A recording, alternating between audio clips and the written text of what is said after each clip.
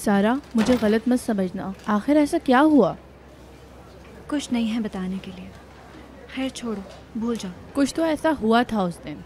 बिला वजह तुम इतना गुस्सा नहीं करती। हाँ ऐसा नहीं होना चाहिए था। लेकिन मैं क्या करती? अब तुम्हें मोहतात रहना होगा।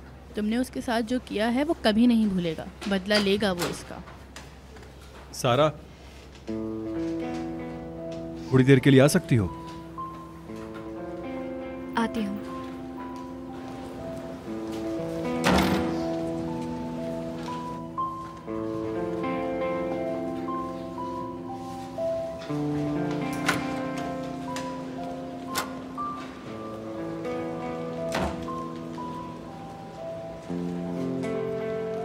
क्या?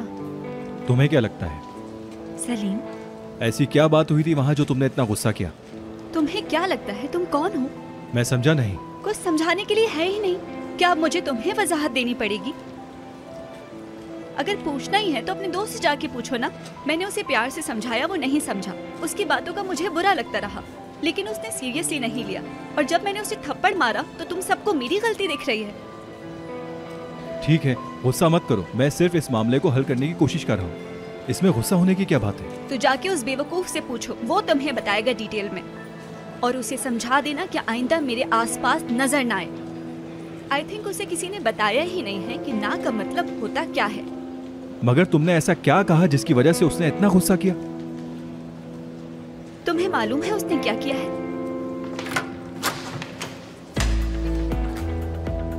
क्लास के बाद मिलते हैं। तुम्हें मुझे सब कुछ बताना होगा।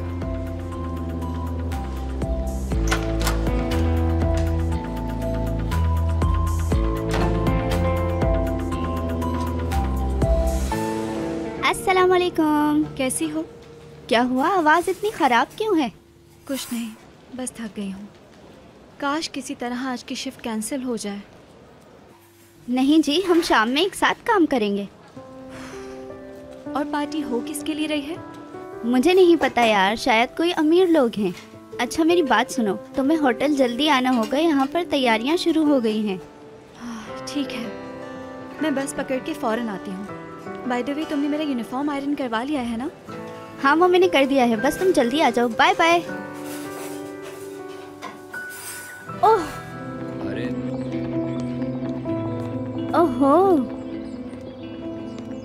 देखो तो कितना बड़ा घर है। पिनार नॉर्मल सा घर है। तुम इतना क्यों खुश हो रही हो? तुम लोग अंदर आ जाओ। काम शुरू करते हैं।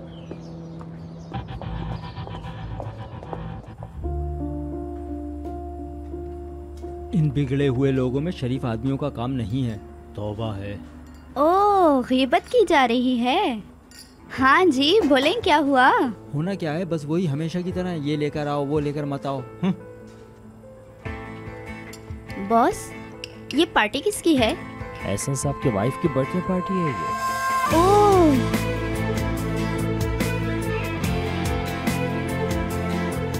एहसन साहब कहा? सुना तुमने? लड़की क्या तुमने? सुना उन्होंने क्या कहा?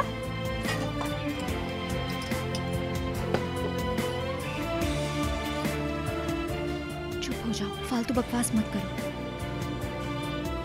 किस्मत तो देखो जरा बाकी सबको छोड़ के अपने जीजा जी के यहाँ काम करने आई हूँ मैं। पिनार उसको जीजा जी मत बोलो।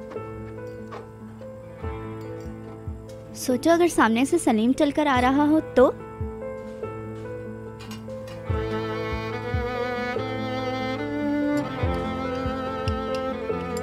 फजूल बातें मत करो काम पे ध्यान लगाओ। चलो चलो जल्दी काम खत्म करो। बस थोड़ी देर के लिए। बात सुनो। जी बॉस। थोड़ी देर के लिए यहाँ आ जाओ। जा रही हूँ।